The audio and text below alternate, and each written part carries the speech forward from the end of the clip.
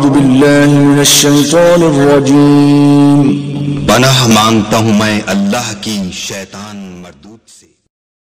بسم اللہ الرحمن الرحیم۔ السلام علیکم ورحمۃ اللہ وبرکاتہ۔ سگریٹ پینا کیوں حرام ہے؟ کہ واقعی سگریٹ پینا حرام ہے؟ جو لوگ سگریٹ پیتے ہیں ان کو منع کریں۔ کیونکہ سگریٹ پینا حرام ہے۔ کیوں حرام ہے؟ یہ آج ہم کو ہم آج آپ کو بتائیں گے۔ اس سے پہلے گزارش کے اگر آپ نے ابھی تک ہمارا چینل سبسکرائب نہیں کیا تو ہمارے اس چینل کو کریں سبسکرائب اور بیل آئیکن کو دبائیں تاکہ اس طرح کی لیٹسٹ اور نئی سے نئی ویڈیو آپ تک بآسانی پہنچ سکے۔ دیکھیں اپنا پیسہ جلانے سے رسول اللہ صلی اللہ علیہ وسلم نے منع فرمایا، شریعت نے منع فرمایا۔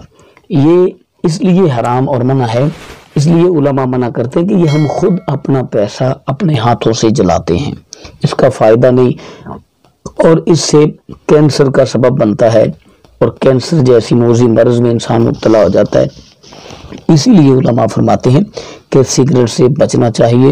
سگریٹ اسلام میں جائز نہیں، تمباکو نوشی چونکہ منع ہے نہیں استعمال کرنی چاہیے، تو جو لوگ تمباکو نوشی کا استعمال کرتے ہیں، ان سے ہم یہی اپیل اور گزارش کرتے ہیں کہ اس کو ترک کر دیں۔ اس کو چھوڑنے سے انسان مر نہیں جاتا، انسان کی زندگی ختم نہیں ہو جاتی۔ لیکن ہم عید شوق استعمال کرتے ہیں۔ ہم جناب لوگوں کو دکھانے کے لیے استعمال کرتے ہیں۔ ہماری زندگیاں تباہ ہو برباد ہو رہی ہیں، لیکن ہم چھوڑنے کے لیے تیار نہیں۔ تو پلیز خدا رہا، اس سے بچیے گا، اپنا بہت سارا خیر رکھیے۔ اللہ نے کے